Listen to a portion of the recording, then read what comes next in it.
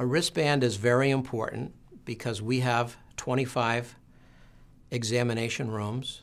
Sometimes we'll have 30 patients uh, in the department, but 25 rooms for them. And what we don't want is to lose track of somebody. We want people to know that we haven't lost track of them, that we don't order the wrong test on the wrong person. We go to great lengths before blood is drawn or an x ray is taken or a medication is given to make sure that we are doing this on the correct patient.